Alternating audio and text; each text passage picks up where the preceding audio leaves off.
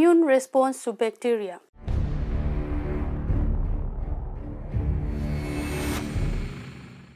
Bacteria are prokaryotic microorganisms. Some of them are pathogenic and can cause number of diseases. Some of the diseases caused by bacteria are tuberculosis, meningitis, cholera, typhoid fever, etc. Most of the bacterial diseases are treated with antibiotics. However, the immune system has various mechanisms to counter bacterial infections. Both the innate and the adaptive immunity works to eliminate bacterial infections. The innate immunity has physical barriers of epithelial cells and mucosal lining which does not allow easy entry of the bacteria. However, bacteria enters the body through a number of natural routes like respiratory tracts gastrointestinal tracts, urinogenital tracts, etc. by overcoming the physical barriers. Bacteria can also enter the body when there are some cuts or breaks in the mucous membrane or skin. The type of immune response depends on the number and the virulence of the infecting microorganisms. If the number of invading bacteria is small and the virulence is weak, then the non-specific innate response with phagocytic cells may be able to eliminate the bacteria. Whereas, if the number of invading bacteria is large with greater virulence, then the specific adaptive immune responses are required to eliminate the bacteria. Immune response to extracellular bacteria. Extracellular bacteria are those which have not entered the host cells. Such bacterial infections are mainly counteracted by the antibodies.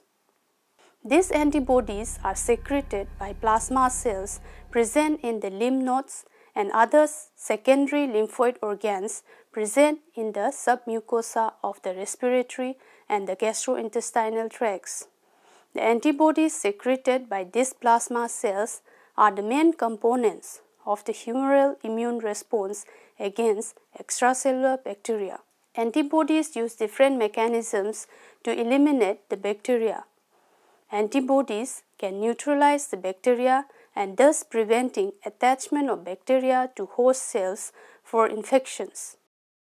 Extracellular bacteria can be pathogenic because they induce a localized inflammatory response or because they produce toxins.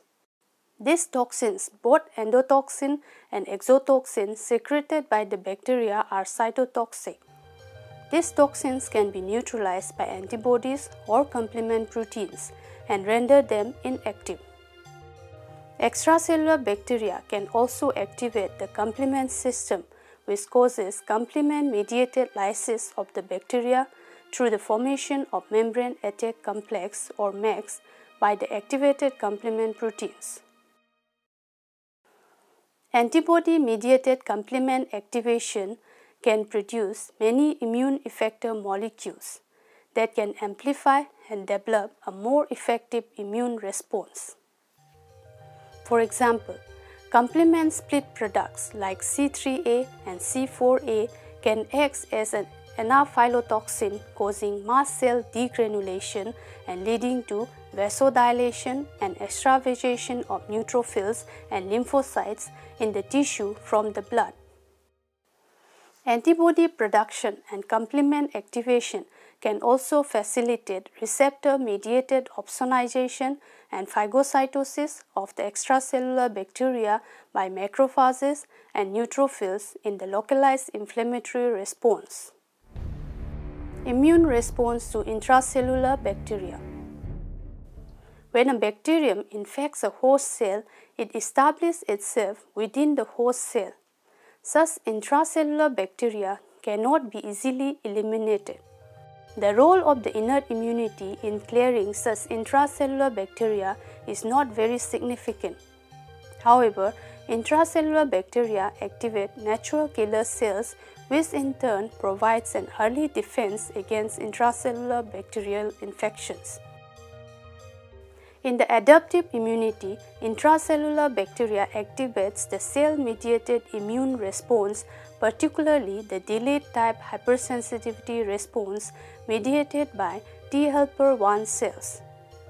Activated CD4 positive T helper 1 cells produces cytokines like interferon gamma which is an activator of macrophages.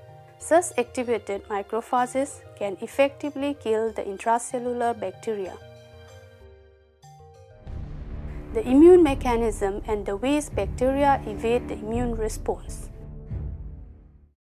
There are four major steps in bacterial infection. Attachment to host cells, proliferation, invasion of host tissue, and toxin-induced damage to host cells. The host immune system acts at each of these steps and many bacteria develop ways to evade the host defense mechanisms. Attachment to host cells Many bacteria have surface structures or molecules that help them to attach to the host cells. For example, a number of gram-negative bacteria have pili long hair-like projections which enable them to attach to the membrane of the intestinal or genitourinary tract. Other bacteria like Bordetella pertussis secretes adhesion molecules that facilitates attachment to host cells. The humoral immune response secretes IgA specific for such bacterial structures which when attached to the molecule prevent attachment of bacteria to host mucosal epithelial cells. This is the main host defense against bacterial attachment. However, some bacteria like Haemophilus influenza and Neisseria gonorrhea etc. secretes proteases that cleave secretory IgA at the hinge region, rendering them unable to agglutinate and can thus evade the host defense. Bacteria like Neisseria gonorrhea have highly variable structures of their pili and can thus evade the host defense by changing their surface antigens. Proliferation The host defense mechanism against bacterial proliferation are by phagocytosis both through antibody and C3a mediated opsonization and complement mediated lysis and localized inflammatory response. Some bacteria possesses surface structures that serve to inhibit phagocytosis. For example, Streptococcus pneumoniae possesses a polysaccharide capsule which effectively prevents phagocytosis. There are 84 serotypes of S. pneumoniae that differs from one another by distinct capsular polysaccharides. Another example is Streptococcus viridans possesses a surface protein projection called the M protein inhibits phagocytosis. Some pathogenic streptococci secretes a coagulase enzyme that precipitate a fibrin coat around them, derived from the host and forms a seal against phagocytic cells. Some bacteria have developed mechanisms that interfere with the complement system to survive. For example, some gram-negative bacteria possesses long side chain on the lipid A moiety on the cell wall core polysaccharide that help them to resist complement-mediated lysis. A number of bacteria escape host defense mechanism by their ability to survive within the phagocytic cells. For example, Listeria monocytogenes escape to the cytoplasm from the phagolysosomes to survive. Other bacteria like Mycobacterium avium block lysosomal fusion with the phagolysosomes and prevent themselves from oxidative attacks. Some bacteria like Pseudomonas secretes an enzyme elastase that inactivates both the C3A and C5A anaphylatoxin and thus reduces the localized inflammatory reaction. Invasion of host tissue the major host defense against invasion of host tissue by bacteria is by antibody-mediated agglutination. However, some bacteria secretes hyaluronidase which digests the hyaluronic acid present as a main component of the extracellular matrix in the tissues and thus enhances bacterial invasiveness.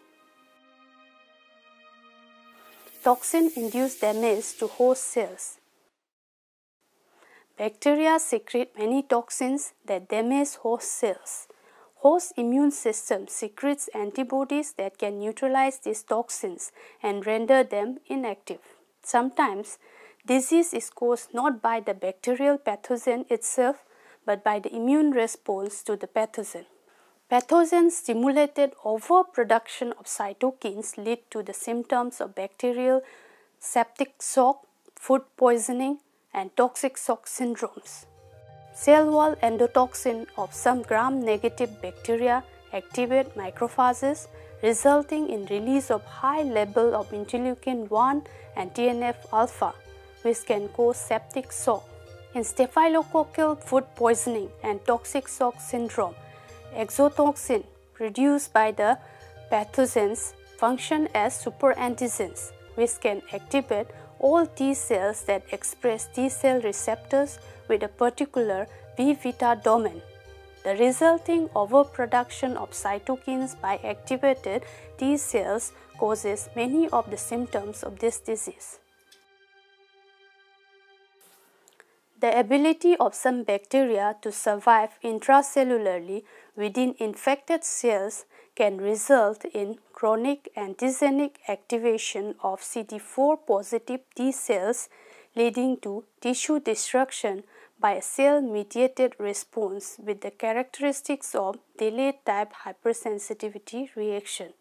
Cytokines secreted by this activated CD4 positive T cells can lead to extensive accumulation and activation of macrophages resulting in formation of a granuloma. The localized concentration of lysosomal enzyme in these granulomas can cause extensive tissue necrosis. Much of the tissue damage seen with Mycobacterium tuberculosis is due to the cell-mediated immune response.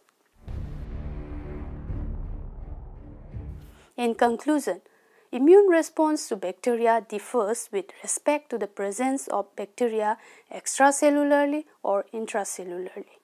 The extracellular bacteria are usually countered by the humoral immune response comprising of the antibodies and complement proteins. Secretory antibodies play significant role in neutralization of bacteria and its toxin and in receptor-mediated phagocytosis.